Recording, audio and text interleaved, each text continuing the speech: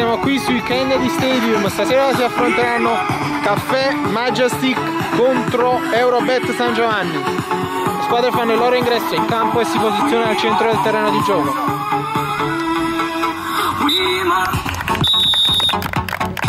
Momento di fair play fra le due formazioni.